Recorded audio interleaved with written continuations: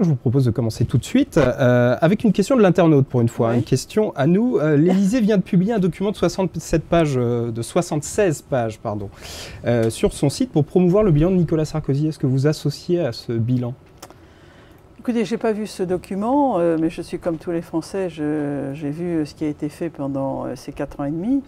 Euh, je pense qu'il y a des choses bien, euh, en particulier euh, la réponse à la crise financière. Je pense que Nicolas Sarkozy a particulièrement été efficace à ce niveau-là. Alors vous avez participé à ce gouvernement hein, à peu près pendant la moitié du quinquennat, Oh, jusqu'en ouais. juin 2009 à peu près. Ouais. Euh, donc vous vous associez aussi à, à ce bilan à cause de cette, ou grâce à cette participation? Vous savez, je pense que dans, dans cette période, euh, il y, a- y y quelque chose qui a changé. Euh, entre le Nicolas Sarkozy euh, et le programme de, de 2007, et moi j'étais dans les premiers gouvernements, hein, euh, et aujourd'hui, il y a quand même un infléchissement euh, de la politique qui me semble poser quelques questions, en tous les cas, Il y a en particulier qui vous êtes déçu chez Nicolas Sarkozy ou dans, ou dans l'application du. C'est pas une question d'être déçu, c'est que je vois un changement. euh, et il est bien évident que, vous savez, en 2007, je me suis ralliée à Nicolas Sarkozy, j'ai donc soutenu sa candidature.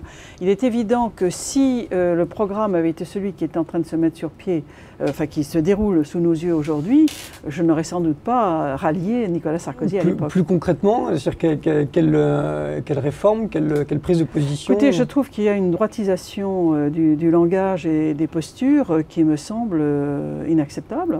Je le dis très clairement. Pour moi, je suis gênée, choquée. Je trouve que la France n'est plus dans son histoire. Elle est même défigurée aujourd'hui par rapport aux orientations qui sont euh, de notre tradition euh, de transmission des droits de l'homme, euh, d'accueil, etc.